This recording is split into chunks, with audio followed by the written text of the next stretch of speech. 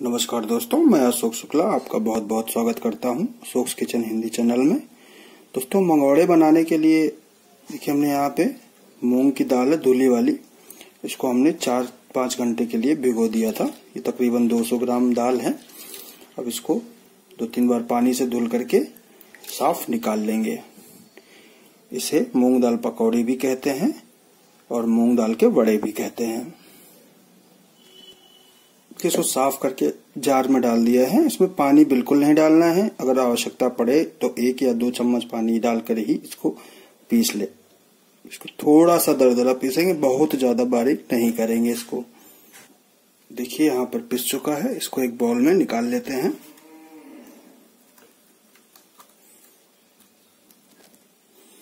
दोस्तों अब इस, इसमें हमने पानी बिल्कुल भी नहीं डाला है और ये पिस गया है। थोड़ा दरदरा पीस लिया है इसको। इसमें दो हरी मिर्ची डाल देते हैं। मिर्ची आप अपने टेस्ट के हिसाब से कम ज़्यादा कर सकते हैं। एक चौथाई छोटी चम्मच हींग डाल देते हैं।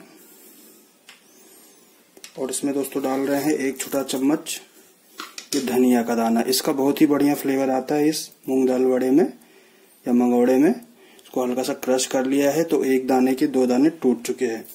अब इसको हम इसमें इसे डाल देते हैं। और अब इसमें डालेंगे नमक स्वाद अनुसार।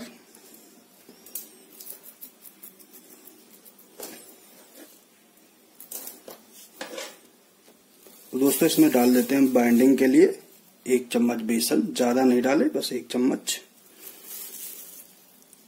अब इसको हम मिक्स कर लेते हैं।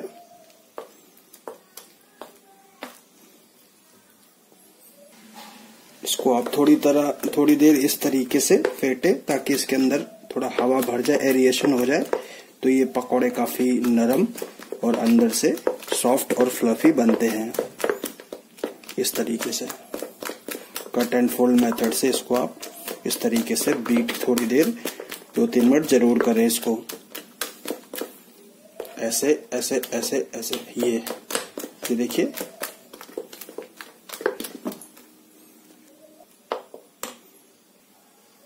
देखिए मिक्स हो चुका है, अच्छे तेल दोस्तों, हल्का गरम है, बहुत ज़्यादा गरम तेल नहीं होना चाहिए, मंगोड़े फ्राई करने के लिए। अब इस तरीके से हाथों में थोड़ा सा बैटर लेंगे।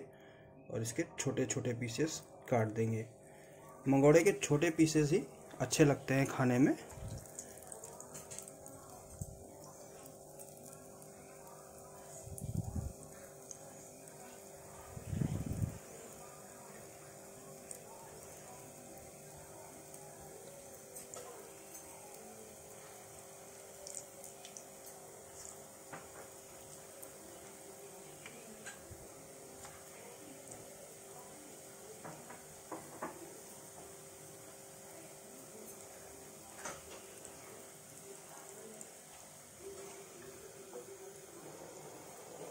इसको मध्यम आँच पर ही फ्राई करें आप।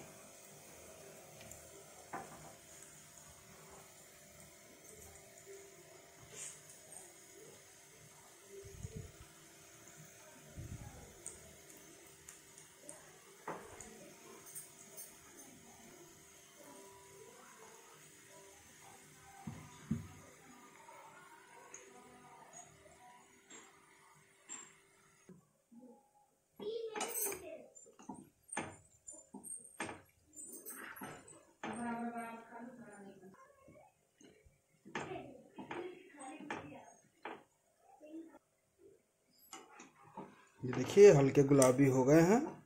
ये बिल्कुल सीख चुके हैं, इन्हें बहुत ज़्यादा गुलाबी नहीं करते हैं। अब इनको हम निकाल लेते हैं।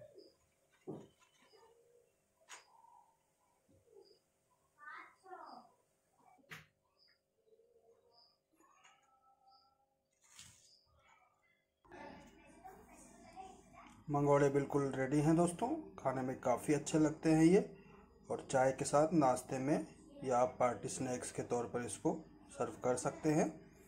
दोस्तों, वीडियो अच्छा लगा और लाइक करें, शेयर करें। चैनल पर नए हैं तो चैनल को सब्सक्राइब करें।